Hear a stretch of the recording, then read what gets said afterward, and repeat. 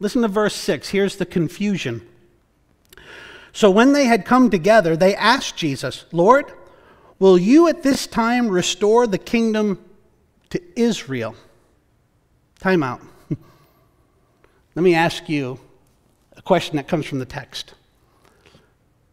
How well are you listening to God?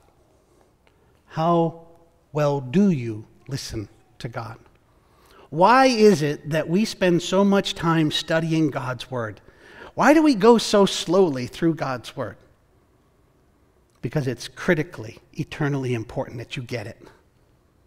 Case in point Jesus taught in his resurrection ministry right before he ascends up to heaven, right? The last things that he's focused on, arguably the most important, and he's focused on teaching of the kingdom of God.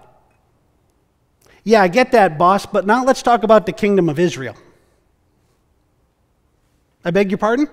I'm trying to tell you and teach you and prepare you and build into you a witness for the kingdom of God. Yeah, but let's talk about the kingdom of us. Let's focus on us, boss. Friends, do you not see how active and alive that same problem is today? God would say to us, Here is my will, here is my plan, here's what I have for you.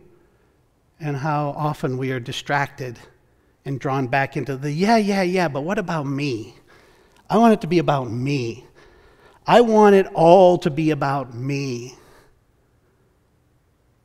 I say to you as a witness love people enough to tell them it's not about you, it's about Christ.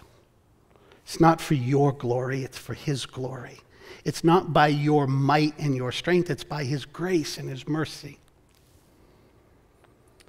Jesus is talking about the kingdom of God. And we have such a fleshly tendency to want to talk about the kingdom of us. Lest we get confused, let us always remember it's about the lordship of Christ in our lives and a loving walk of appreciation that we, we are here to bring him glory. First sermon I ever preached in this church.